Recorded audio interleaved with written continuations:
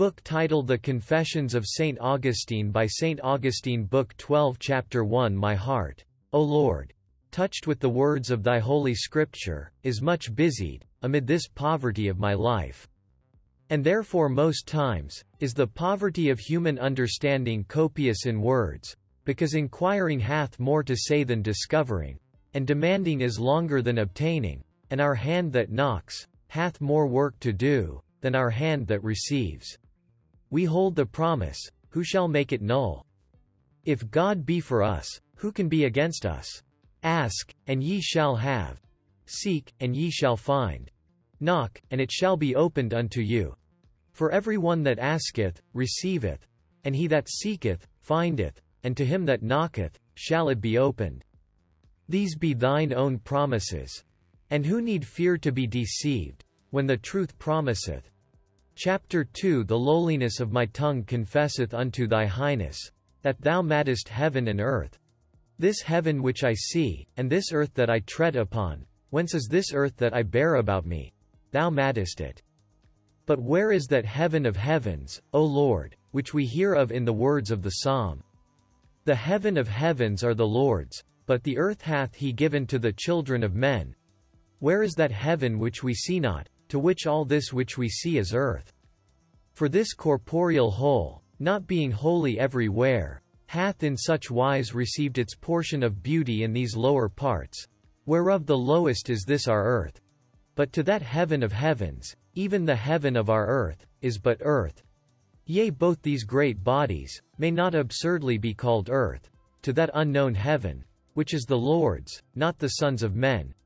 Chapter 3 And now this earth was invisible and without form, and there was I know not what depth of abyss, upon which there was no light, because it had no shape. Therefore didst thou command it to be written, that darkness was upon the face of the deep. What else than the absence of light? For had there been light, where should it have been but by being over all, aloft, and enlightening? Where then light was not, what was the presence of darkness, but the absence of light? Darkness therefore was upon it, because light was not upon it, as where sound is not, there is silence. And what is it to have silence there, but to have no sound there?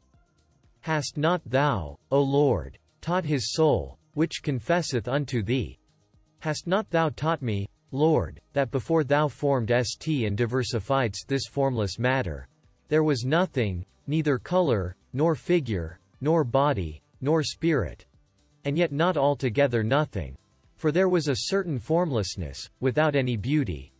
Chapter 4 How then should it be called? That it might be in some measure conveyed to those of duller mind, but by some ordinary word? And what, among all parts of the world can be found nearer to an absolute formlessness, than earth and deep? For, occupying the lowest stage, they are less beautiful than the other higher parts are, transparent all and shining. Wherefore then may I not conceive the formlessness of matter, which thou hadst created without beauty, whereof to make this beautiful world, to be suitably intimated unto men, by the name of earth invisible and without form. Chapter 5 So that when thought seeketh what the sense may conceive under this, and saith to itself, it is no intellectual form, as life, or justice, because it is the matter of bodies, nor object of sense, because being invisible, and without form, there was in it no object of sight or sense, while man's thought thus saith to itself, it may endeavor either to know it by being ignorant of it, or to be ignorant, by knowing it. Chapter 6 But I, Lord, if I would, by my tongue and my pen, confess unto thee the whole, whatever thyself hath taught me of that matter, the name whereof hearing before, and not understanding, when they who understood it not, told me of it, so I conceived of it as having innumerable forms and diverse, and therefore did not conceive it at all. My mind tossed up and down foul and horrible, forms, out of all order, but yet, forms, and I called it without form not that it wanted all form, but because it had such as my mind would, if presented to it, turn from, as unwanted and jarring, and human frailness would be troubled at. And still that which I conceived, was without form, not as being deprived of all form, but in comparison of more beautiful forms, and true reason did persuade me, that I must utterly uncase it of all remnants of form whatsoever, if I would conceive matter absolutely without form. And I could not. For sooner could I imagine that not to be at all, which should be deprived of all form, than conceive a thing betwixt form and nothing, neither formed, nor nothing, a formless almost nothing. So my mind gave over to question thereupon with my spirit, it being filled with the images of formed bodies, and changing and varying them, as it willed. And I bent myself to the bodies themselves, and looked more deeply into their changeableness, by which they cease to be what they have been, and begin to be what they were not. And this same shifting from form to form, I suspected to be through a certain formless state, not through a mere nothing. Yet this I long to know, not to suspect only. If then my voice and pen would confess unto thee the whole, whatsoever knots thou didst open for me in this question, what reader would hold out to take in the whole? Nor shall my heart for all this cease to give thee honor, and a song of praise, for those things which it is not able to express. For the changeableness of changeable things, is itself capable of all those forms, into which these changeable things are changed. And this changeableness, what is it? Is it soul? Is it body? Is it that which constituteth soul or body? Might one say, a nothing something, and is, is not, I would say, this were it. And yet in some way was it even then, as being capable of receiving these visible and compound figures. Chapter 7 But whence had it this degree of being? But from thee, from whom are all things, so far forth as they are. But so much the further from thee, as the unliker thee, for it is not farness of place.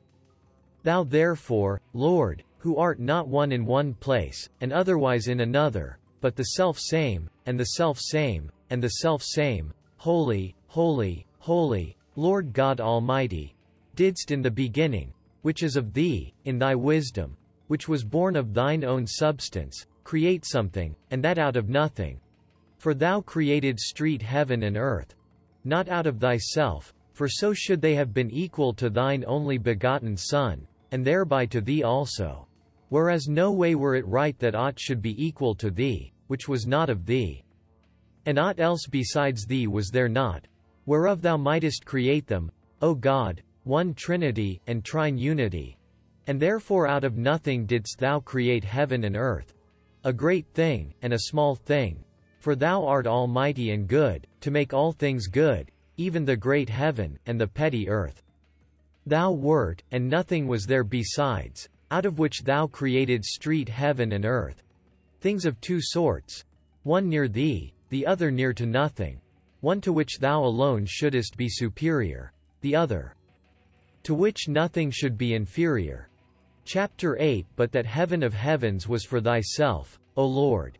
But the earth which thou gavest to the sons of men, to be seen and felt, was not such as we now see and feel. For it was invisible, without form, and there was a deep, upon which there was no light. Or, darkness was above the deep, that is, more than in the deep. Because this deep of waters, visible now, hath even in his depths, a light proper for its nature, perceivable in whatever degree unto the fishes, and creeping things in the bottom of it. But that whole deep was almost nothing, because hitherto it was altogether without form. Yet there was already that which could be formed. For thou, Lord, madest the world of a matter without form, which out of nothing, thou madest next to nothing, thereof to make those great things, which we sons of men wonder at. For very wonderful is this corporeal heaven, of which firmament between water and water, the second day, after the creation of light, thou sightest, let it be made, and it was made. Which firmament thou call edst heaven. The heaven, that is, to this earth and sea, which thou madest the third day, by giving a visible figure to the formless matter, which thou madest before all days. For already hadst thou made both an heaven, before all days. But that was the heaven of this heaven, because in the beginning thou hadst made heaven and earth. But this same earth which thou madest was formless matter, because it was invisible and without form, and darkness was upon the deep, of which invisible earth and without form, of which formlessness, of which almost nothing, Thou mightest make all these things of which this changeable world consists, but subsists not, whose very changeableness appears therein, that times can be observed and numbered in it. For times are made by the alterations of things, while the figures, the matter whereof is the invisible earth aforesaid, are varied and turned. Chapter 9 And therefore the Spirit, the teacher of thy servant, when it recounts thee to have in the beginning created heaven and earth, speaks nothing of times, nothing of days. For verily that heaven of heavens which thou created street in the beginning, is some intellectual creature, which, although no ways coeternal unto thee, the Trinity, yet partaketh of thy eternity, and doth through the sweetness of that most happy contemplation of thyself, strongly restrain its own changeableness, and without any fall since its first creation, cleaving close unto thee, is placed beyond all the rolling vicissitude of times. Yea, neither is this very formlessness of the earth, invisible, and without form, numbered among the days. For where no figure nor order is, there does nothing come, or go. And where this is not, there plainly are no days, nor any vicissitude of spaces of times. Chapter 10 O let the light, the truth, the light of my heart, not mine own darkness, speak unto me. I fell off into that, and became darkened. But even thence, even thence I loved thee.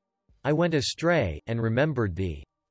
I heard thy voice behind me, calling to me to return, and scarcely heard it, through the tumultuousness of the enemies of peace.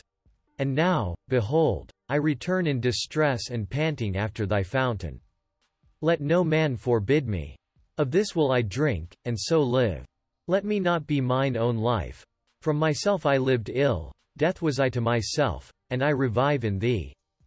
Do thou speak unto me, do thou discourse unto me. I have believed thy books, and their words be most full of mystery.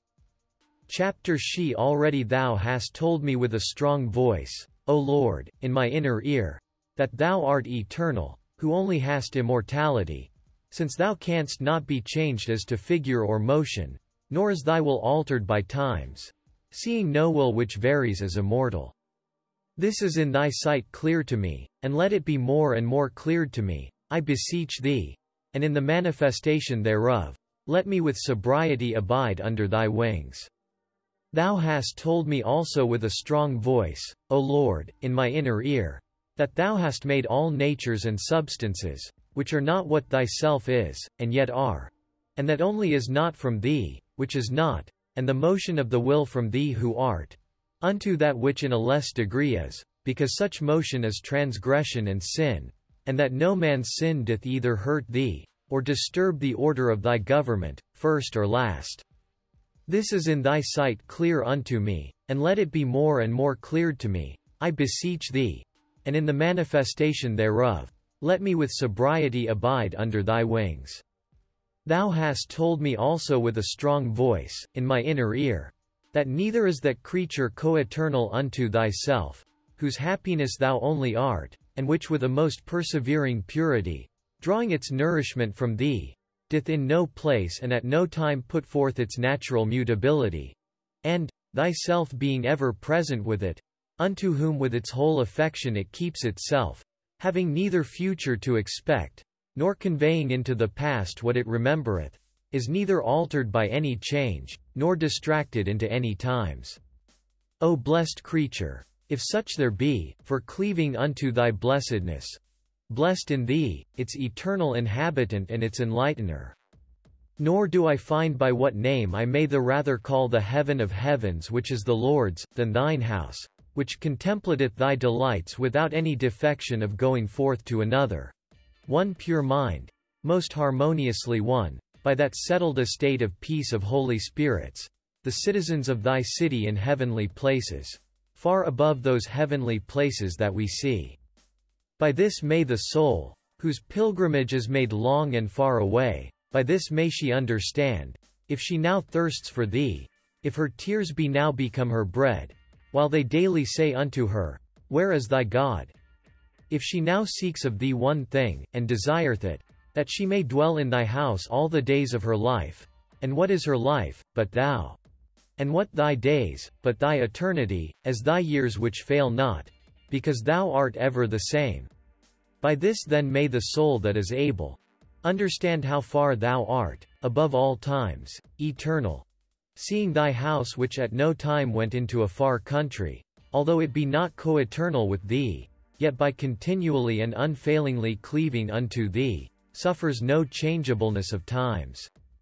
This is in thy sight clear unto me, and let it be more and more cleared unto me, I beseech thee, and in the manifestation thereof, let me with sobriety abide under thy wings. There is, behold, I know not what formlessness in those changes of these last and lowest creatures.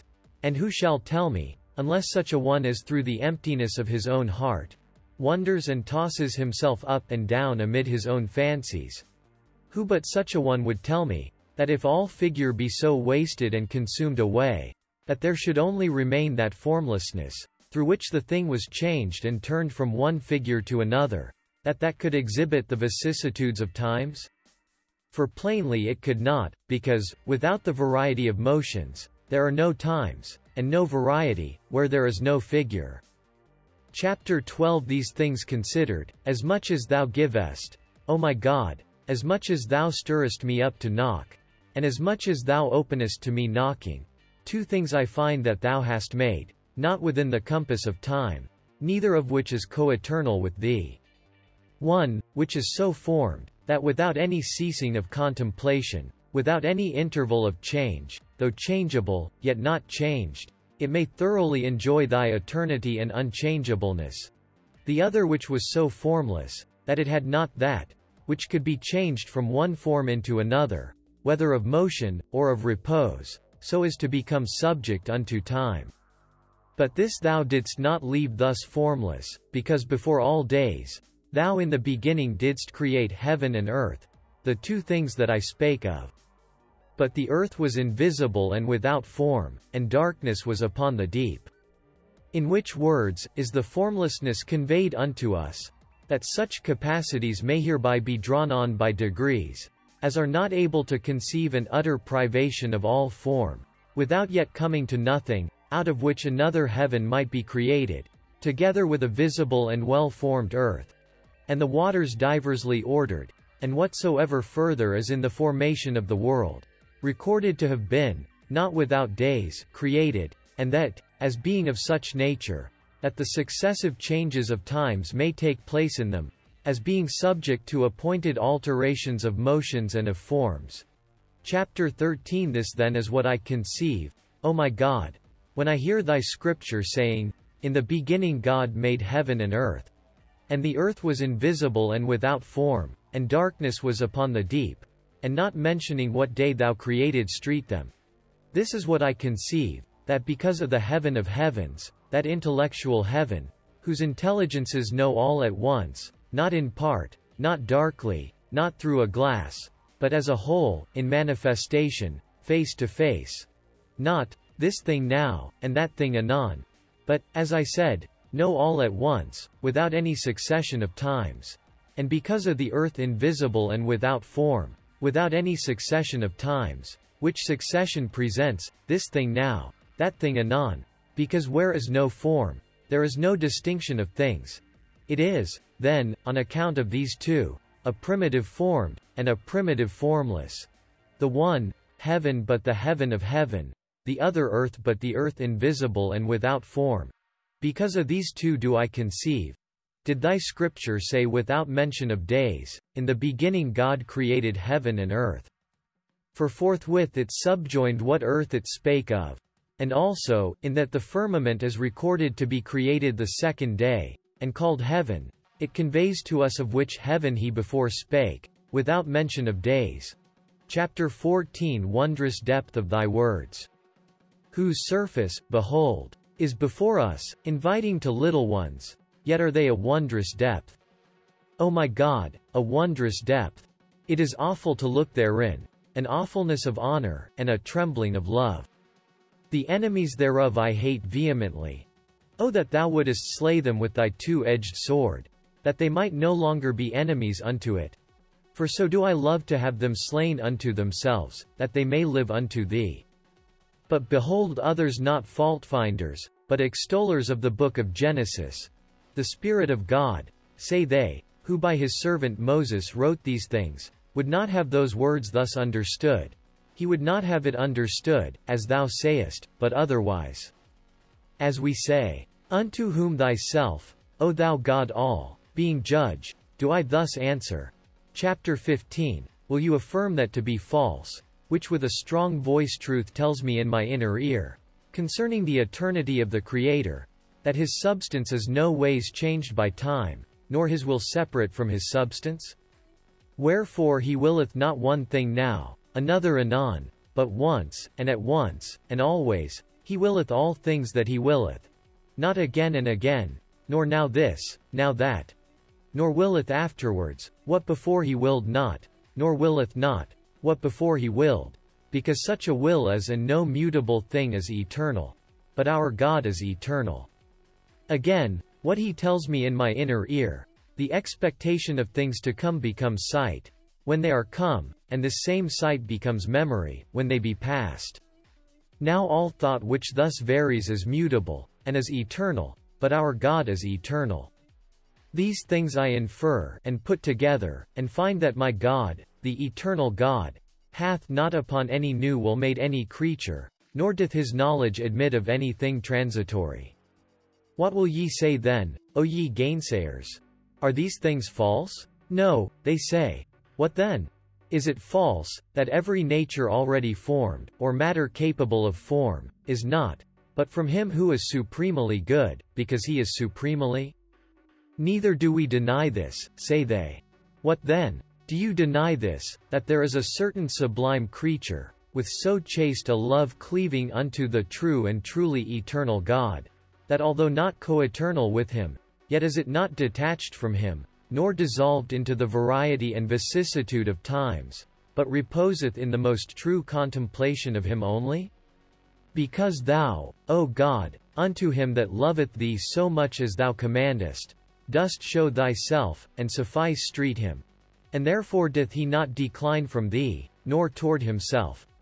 This is the house of God, not of earthly mold, nor of celestial bulk corporeal but spiritual, and partaker of thy eternity, because without defection for ever.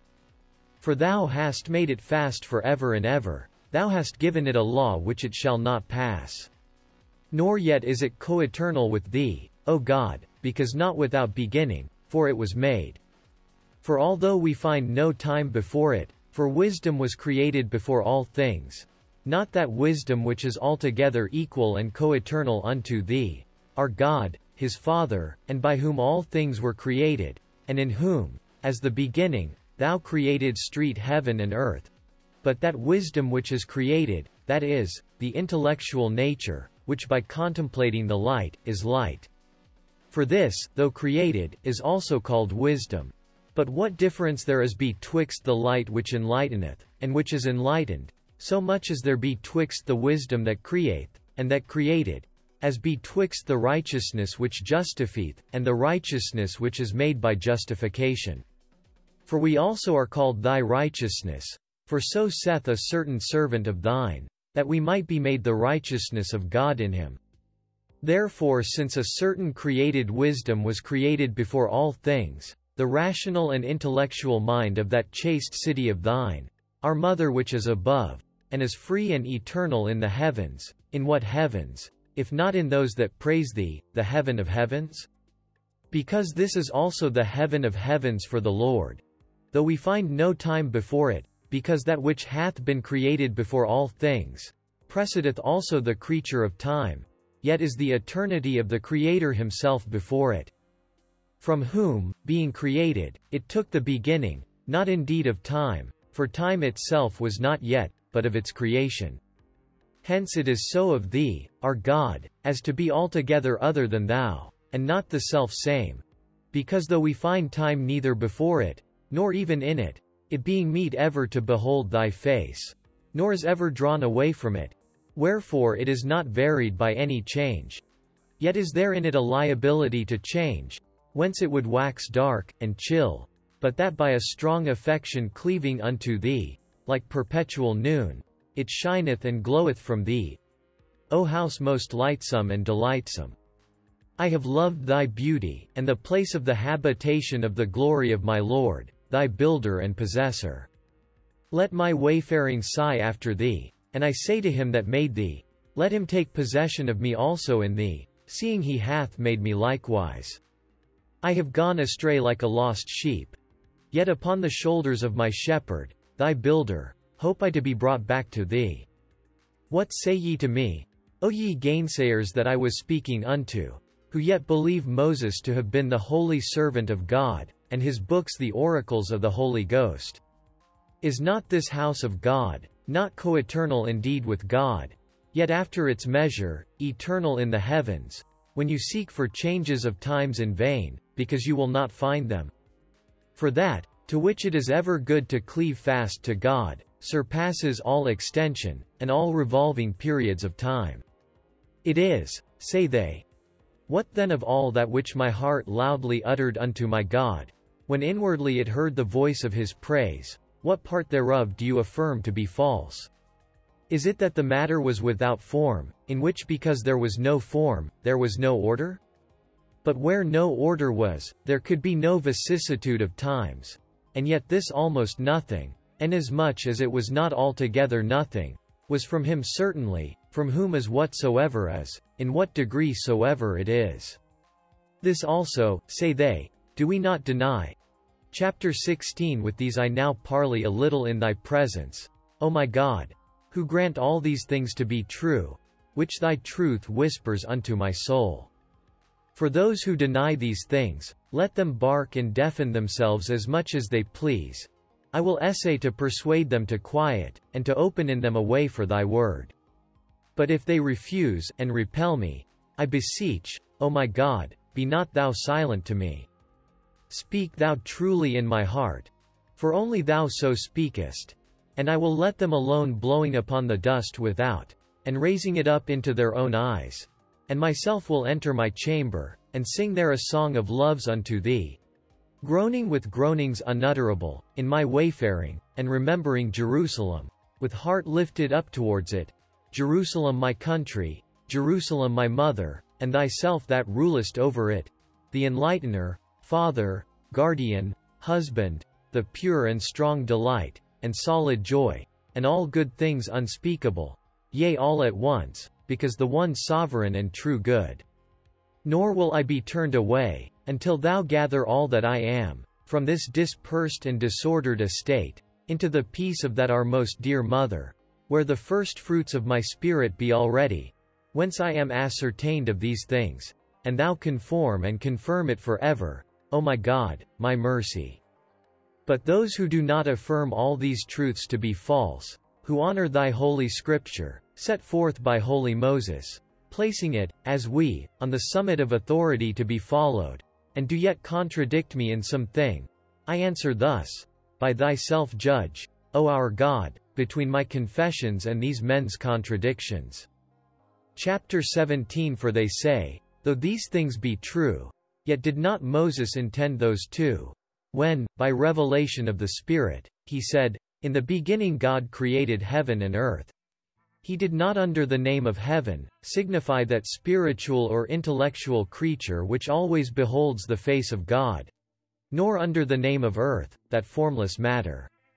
What then? That man of God, say they, meant as we say, this declared he by those words.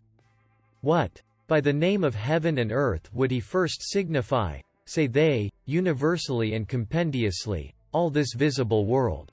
So as afterwards by the enumeration of the several days, to arrange in detail, and, as it were, piece by piece, all those things, which it pleased the Holy Ghost thus to enounce. For such were that rude and carnal people to which he spake, that he thought them fit to be entrusted with the knowledge of such works of God only as were visible. They agree, however, that under the words earth invisible and without form, and that darksome deep, out of which it is subsequently shown, that all these visible things which we all know, were made and arranged during those days, may, not incongruously, be understood of this formless first matter. What now if another should say that, this same formlessness and confusedness of matter, was for this reason first conveyed under the name of heaven and earth, because out of it was this visible world with all those natures which most manifestly appear in it, which is ofttimes called by the name of heaven and earth, created and perfected. What again if another say that, invisible and visible nature is not indeed inappropriately called heaven and earth? And so, that the universal creation, which God made in his wisdom, that is, in the beginning, was comprehended under those two words? Notwithstanding, since all things be made not of the substance of God, but out of nothing, because they are not the same that God is, and there is a mutable nature in them all, whether they abide, as doth the eternal house of God, or be changed, as the soul and body of man are. Therefore the common matter of all things visible and invisible, as yet unformed though capable of form, out of which was to be created both heaven and earth, I. The invisible and visible creature when formed, was entitled by the same names given to the earth invisible and without form and the darkness upon the deep, but with this distinction, that by the earth invisible and without form is understood corporeal matter, antecedent to its being qualified by any form, and by the darkness upon the deep, spiritual matter, before it underwent any restraint of its unlimited fluidness, or received any light from wisdom. It yet remains for a man to say, if he will, that the already perfected and formed natures, visible and invisible, are not signified under the name of heaven and earth, when we read, In the beginning God made heaven and earth, but that the yet unformed commencement of things, the stuff apt to receive form and making, was called by these names, because therein were confusedly contained, not as yet distinguished by their qualities and forms, all those things which being now digested into order, are called heaven and earth, the one being the spiritual, the other the corporeal, creation, Chapter 18 All which things being heard and well considered, I will not strive about words. For that is profitable to nothing, but the subversion of the hearers. But the law is good to edify, if a man use it lawfully. For that the end of it is charity, out of a pure heart and good conscience, and faith unfeigned. And well did our Master know, upon which two commandments he hung all the law and the prophets. And what doth it prejudice me, O my God, thou light of my eyes in secret, zealously confessing these things, since divers things may be understood under these words which yet are all true. What, I say, doth it prejudice me, if I think otherwise than another thinketh the writer thought? All we readers verily strive to trace out and to understand his meaning whom we read. And seeing we believe him to speak truly, we dare not imagine him to have said anything, which ourselves either know or think to be false. While every man endeavors then to understand in the Holy Scriptures, the same as the writer understood, what hurt is it, if a man understand what thou, the light of all true speaking minds, dost show him to be true, although he whom he reads, understood not this, seeing he also understood a truth, though not this truth. Chapter 19 For true it is, O Lord, that thou madest heaven and earth. And it is true too, that the beginning is thy wisdom, in which thou createst all. And true again, that this visible world hath for its greater part the heaven and the earth, which briefly comprise all made and created natures. And true too, that whatsoever is mutable, gives us to understand a certain want of form, whereby it receiveth a form, or is changed, or turned. It is true, that that is subject to no times, which so cleaveth to the unchangeable form, as though subject to change, never to be changed. It is true, that that formlessness which is almost nothing, cannot be subject to the alteration of times. It is true, that that whereof a thing is made, may by a certain mode of speech, be called by the name of the thing made of it, whence that formlessness, whereof heaven and earth were made, might be called heaven and earth. It is true, that of things having form, there is not any nearer to having no form, than the earth and the deep. It is true, that not only every created and formed thing, but whatsoever is capable of being created and formed, thou madest, of whom are all things. It is true, that whatsoever is formed out of that which had no form, was unformed before it was formed. Chapter 20 Out of these truths, of which they doubt not whose inward eye thou hast enabled to see such things, and who unshakenly believe thy servant Moses to have spoken in the spirit of truth. Of all these then, he taketh one, who saith, In the beginning God made the heaven and the earth. That is, in his word co-eternal with himself, God made the intelligible and the sensible, or the spiritual and the corporeal creature. He another, that saith, In the beginning God made heaven and earth. That is, in his word co-eternal with himself, did God make the universal bulk of this corporeal world, together with all those apparent and known creatures, which it containeth. He another, that saith, In the beginning God made heaven and earth. That is, in his word co-eternal with himself, did God make the formless matter of creatures spiritual and corporeal. He another, that saith, In the beginning God created heaven and earth. That is, in his word co-eternal with himself, did God create the formless matter of the creature corporeal, wherein heaven and earth lay as yet confused, which, being now distinguished and formed, we at this day see in the bulk of this world. He another, who saith, In the beginning God made heaven and earth. That is, in the very beginning of creating and working, did God make that formless matter, confusedly containing in itself both heaven and earth, out of which, being formed, do they now stand out, and are apparent, with all that is in them. Chapter 21 And with regard to the understanding of the words following, out of all those truths, he chooses one to himself, who saith, but the earth was invisible, and without form, and darkness was upon the deep.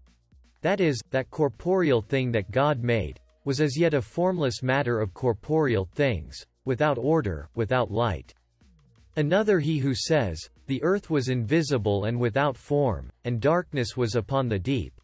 That is, this all, which is called heaven and earth, was still a formless and darksome matter, of which the corporeal heaven and the corporeal earth were to be made, with all things in them, which are known to our corporeal senses. Another he who says, The earth was invisible and without form, and darkness was upon the deep. That is, this all, which is called heaven and earth, was still a formless and a darksome matter, out of which was to be made, both that intelligible heaven, otherwhere called the heaven of heavens, and the earth, that is, the whole corporeal nature, under which name is comprised this corporeal heaven also. In a word, out of which every visible and invisible creature was to be created. Another he who says, The earth was invisible and without form, and darkness was upon the deep. The scripture did not call that formlessness by the name of heaven and earth. But that formlessness, saith he, already was, which he called the earth invisible without form, and darkness upon the deep. Of which he had before said, that God had made heaven and earth, namely, the spiritual and corporeal creature. Another he who says, the earth was invisible and without form, and darkness was upon the deep. That is, there already was a certain formless matter, of which the scripture said before, that God made heaven and earth. Namely, the whole corporeal bulk of the world, divided into two great parts, upper and lower, with all the common and known creatures in them. Chapter 22 For should any attempt to dispute against these two last opinions, thus, if you will not allow, that this formlessness of matter seems to be called by the name of heaven and earth. Ergo, there was something which God had not made, out of which to make heaven and earth.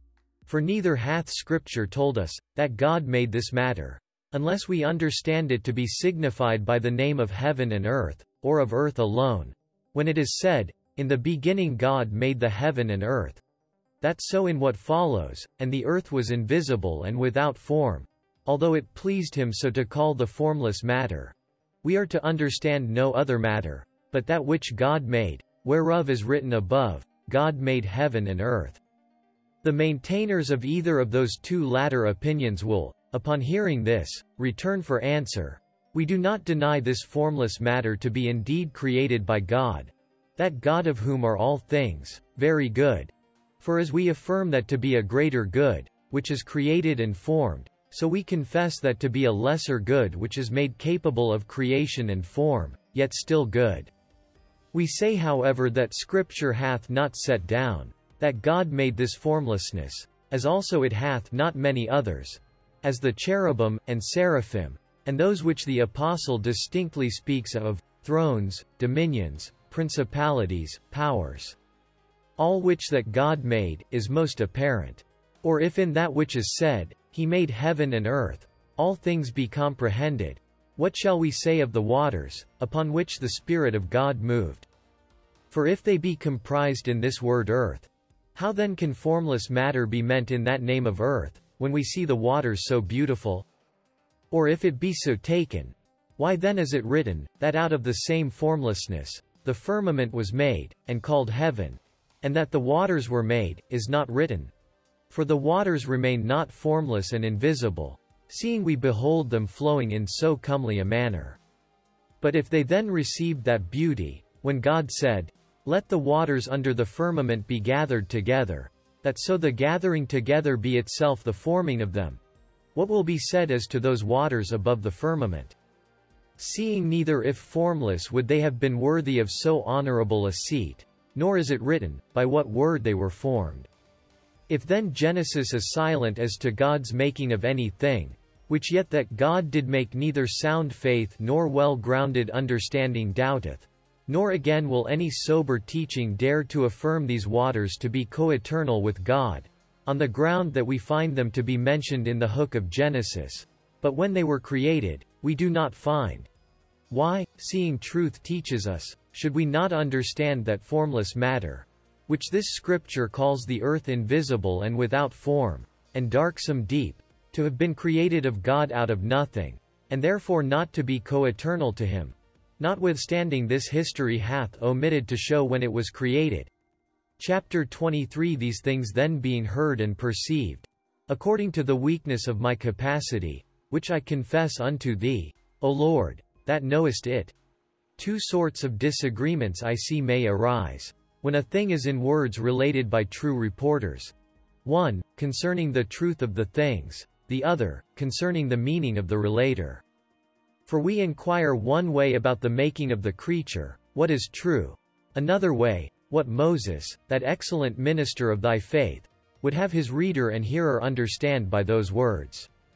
For the first sort, away with all those who imagine themselves to know as a truth, what is false. And for this other, away with all them too, which imagine Moses to have written things that be false. But let me be united in thee, O Lord, with those and delight myself in thee, with them that feed on thy truth, in the largeness of charity, and let us approach together unto the words of thy book, and seek in them for thy meaning, through the meaning of thy servant, by whose pen thou hast dispensed them. Chapter 24 But which of us shall, among those so many truths, which occur to inquirers in those words, as they are differently understood, so discover that one meaning, as to affirm, this Moses thought, and this would he have understood in that history, with the same confidence as he would.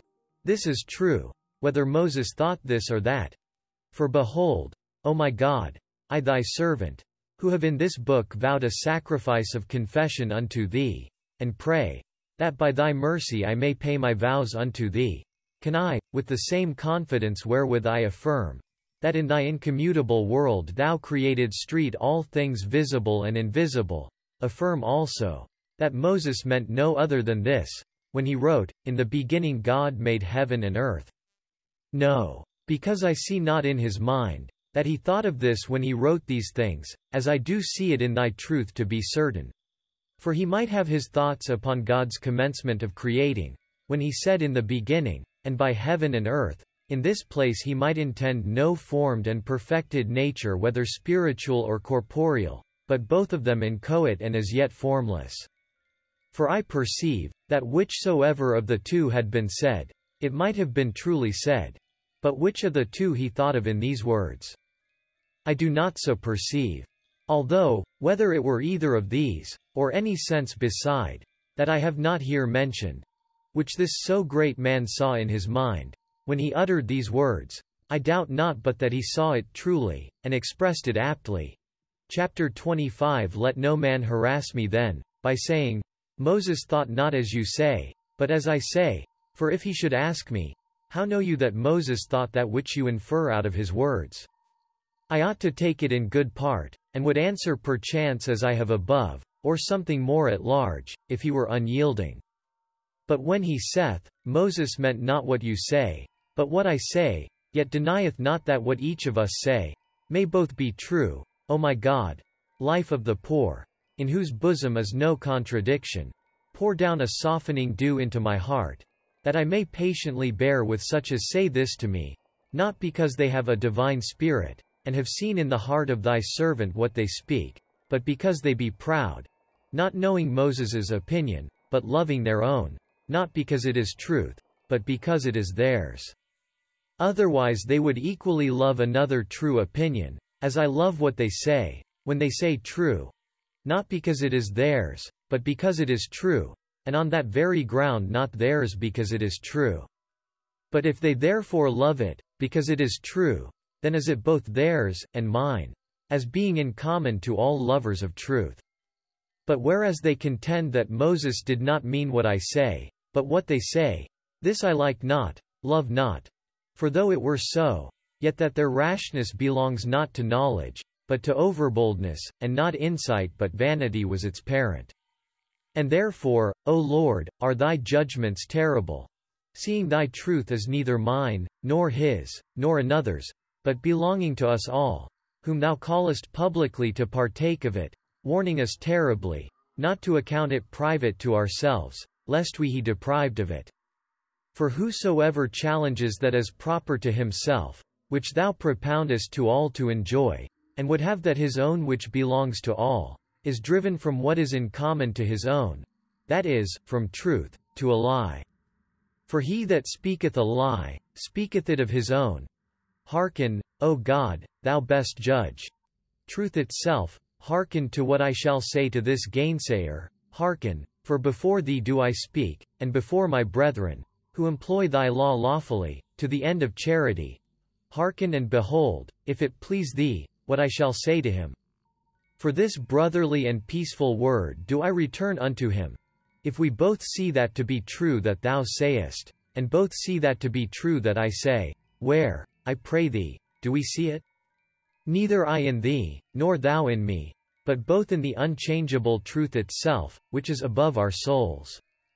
Seeing then we strive not about the very light of the Lord God, why strive we about the thoughts of our neighbor which we cannot so see, as the unchangeable truth is seen?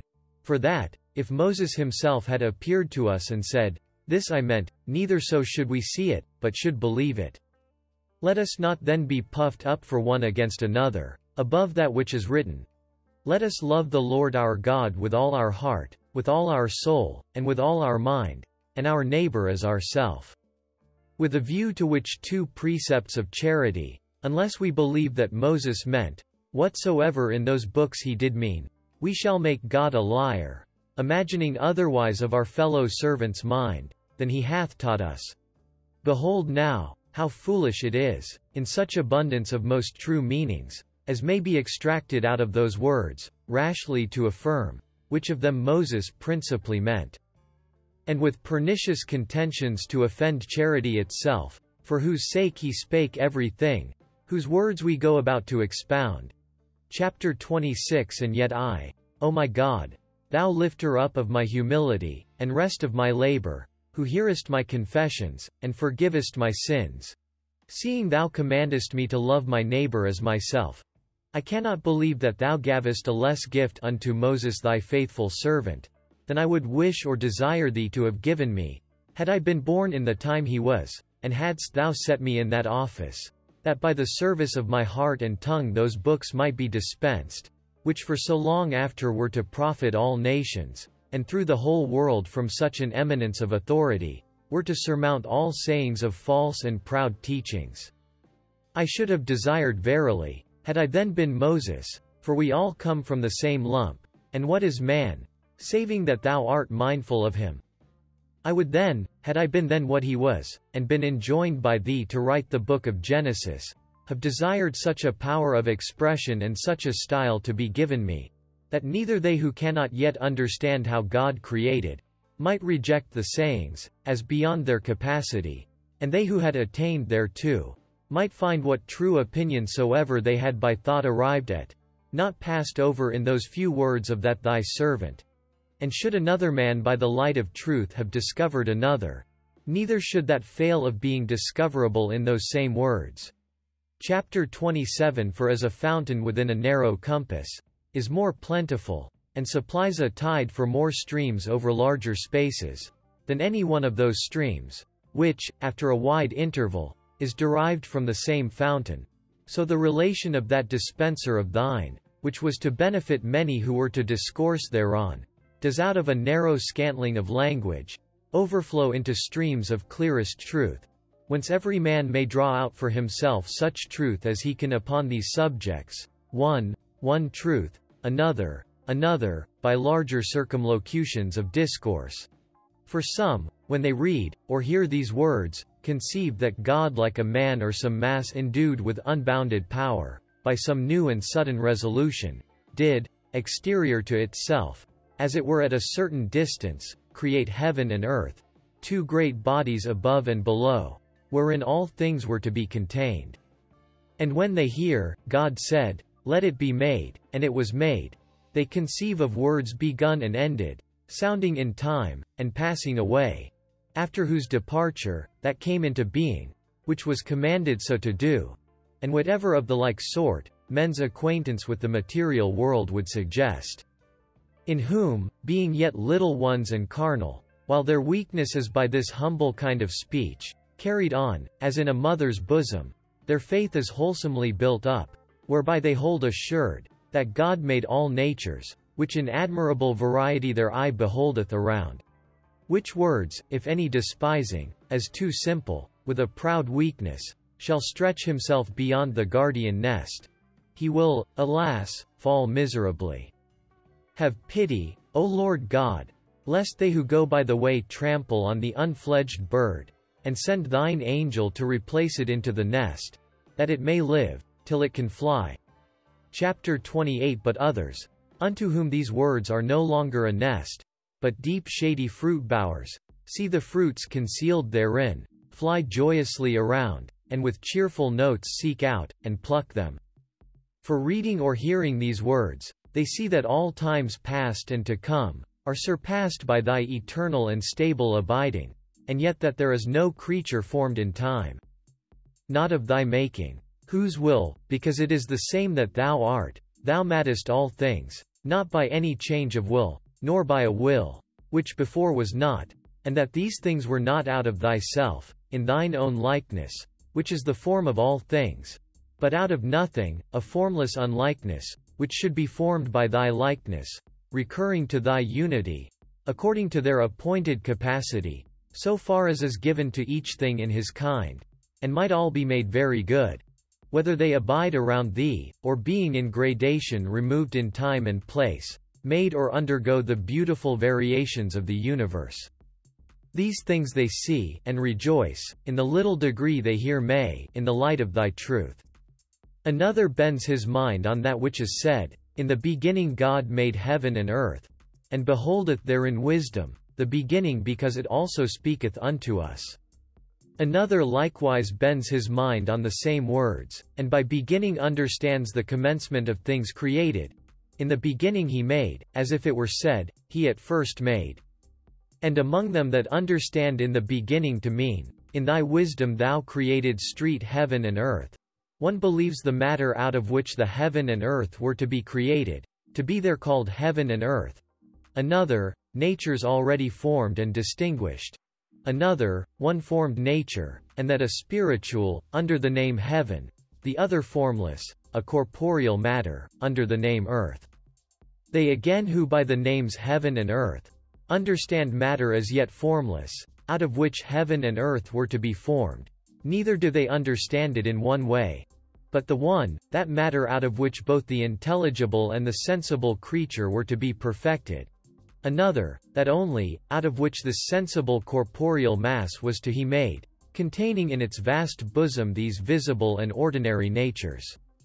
Neither do they, who believe the creatures already ordered and arranged, to be in this place called heaven and earth, understand the same. But the one, both the invisible and visible, the other, the visible only, in which we behold this lightsome heaven, and darksome earth, with the things in them contained. Chapter 29 But he that no otherwise understands in the beginning he made, than if it were said, At first he made, can only truly understand heaven and earth of the matter of heaven and earth, that is, of the universal intelligible and corporeal creation. For if he would understand thereby the universe, as already formed, it may be rightly demanded of him, if God made this first, what made he afterwards? And after the universe, he will find nothing. Whereupon must he against his will hear another question. How did God make this first, if nothing after? But when he says, God made matter first formless, then formed, there is no absurdity, if he be but qualified to discern, what proceeds by eternity, what by time, what by choice, and what in original. By eternity, as God is before all things, by time, as the flower before the fruit, by choice, as the fruit before the flower, by original, as the sound before the tune. Of these four, the first and last mentioned, are with extreme difficulty understood, the two middle, easily. For a rare and too lofty a vision is it, to behold thy eternity, O Lord, unchangeably making things changeable, and thereby before them. And who, again, is of so sharp-sighted understanding, as to be able without great pains to discern, how the sound is therefore before the tune, because a tune is a formed sound, and a thing not formed, may exist, whereas that which existeth not, cannot be formed. Thus is the matter before the thing made, not because it maketh it, seeing itself as rather made, nor is it before by interval of time. For we do not first in time utter formless sounds without singing, and subsequently adapt or fashion them into the form of a chant, as wood or silver, whereof a chest or vessel is fashioned. For such materials do by time also precede the forms of the things made of them, but in singing it is not so, for when it is sung, its sound is heard.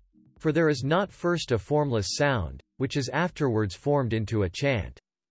For each sound, so soon as made, passeth away, nor canst thou find aught to recall and by art to compose.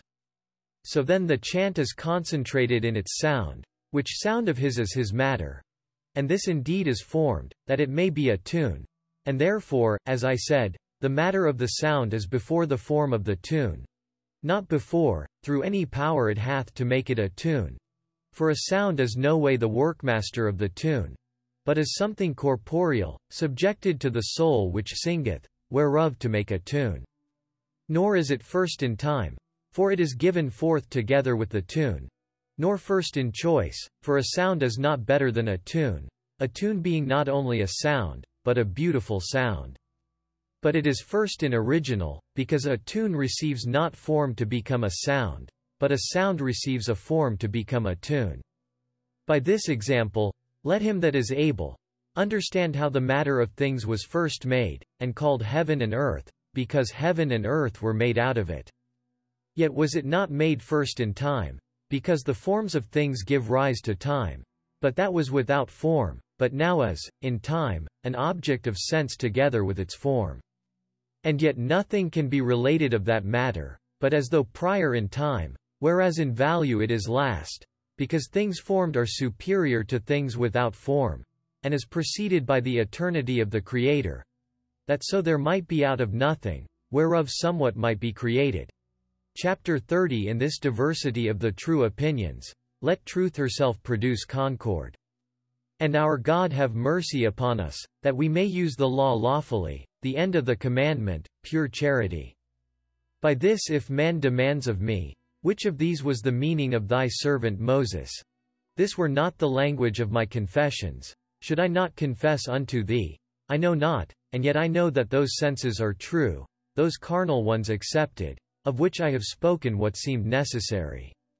And even those hopeful little ones who so think, have this benefit, that the words of thy book affright them not, delivering high things lowlily, and with few words a copious meaning.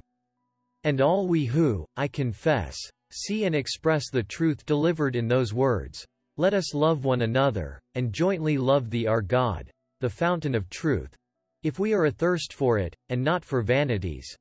Yea, let us so honor this thy servant, the dispenser of this scripture, full of thy Spirit, as to believe that, when by thy revelation he wrote these things, he intended that, which among them chiefly excels both for light of truth, and fruitfulness of profit.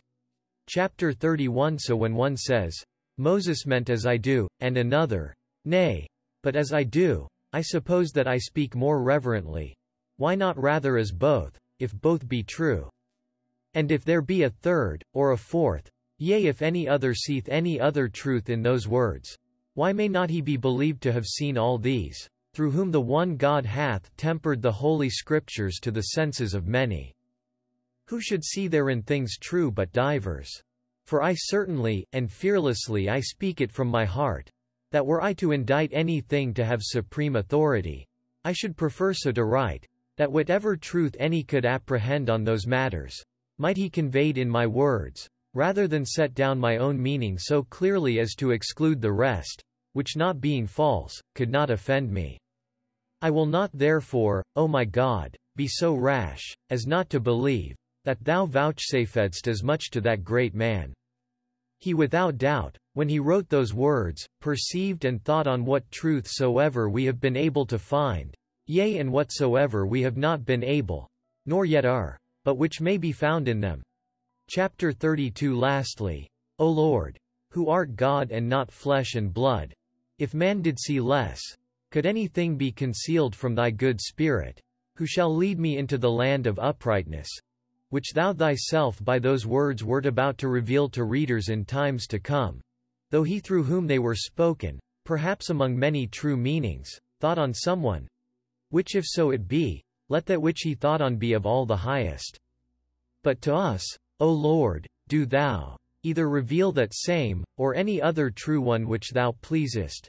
That so, whether thou discoverest the same to us, as to that thy servant, or some other by occasion of those words, yet thou mayest feed us, not error deceive us. Behold, O Lord my God, how much we have written upon a few words, how much I beseech thee. What strength of ours! Yea what ages would suffice for all thy books in this manner. Permit me then in these more briefly to confess unto thee, and to choose some one true, certain, and good sense that thou shalt inspire me. Although many should occur, where many may occur. This being the law my confession, that if I should say that which thy minister intended, that is right and best. For this should I endeavor, which if I should not attain, yet I should say that, which thy truth willed by his words to tell me, which revealed also unto him, what it willed.